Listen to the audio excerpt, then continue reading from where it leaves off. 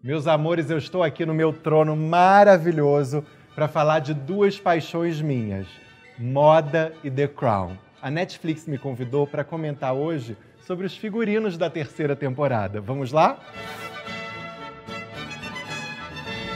Como vocês já sabem, The Crown é uma série premiadíssima da Netflix e conta a história da família real britânica. Um dos grandes assuntos que as pessoas amam em The Crown é o figurino. Nessa terceira temporada, nós vamos acompanhar a rainha e sua corte ao longo dos anos 60 e 70 o que, que a gente pode esperar? Os anos 60 foram marcados por um período de liberação sexual e do comportamento. As mulheres passaram a ter uma atuação mais de protagonistas na sociedade. Também foi a época do movimento hippie, vários movimentos sociais em defesa das minorias. Então a gente vai ver nessa tradução do figurino todos esses elementos. Se a primeira e a segunda temporadas foram marcadas por uma paleta mais sóbria, de beges, pretos, brancos. Agora a gente vai ver uma explosão de cores. Nessa temporada, a equipe de figurino teve que ser muito mais fiel, justamente por causa dos registros em cores que a gente tem daquela época. A rainha ela vai para uma coisa mais pastel.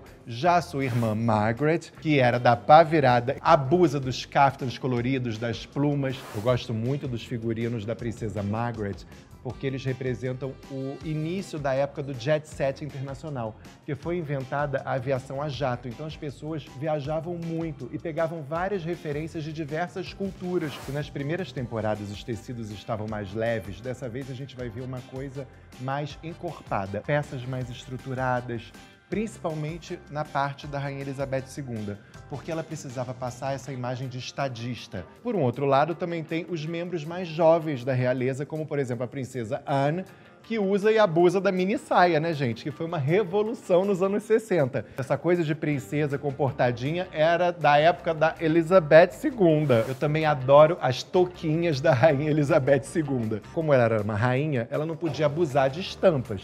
Então era um jeito que ela encontrou de entrar no flower power da época hippie e colocar as flores no cabelo naquelas toucas de gosto um pouco duvidoso, mas que a gente vai olhar e vai adorar. Gente, não é porque a gente mudou de década e até de elenco que The Crown vai perder a sofisticação e o bom gosto que lhe são característicos. Vocês podem conferir tudinho nos 10 episódios da terceira temporada que está maravilhosa.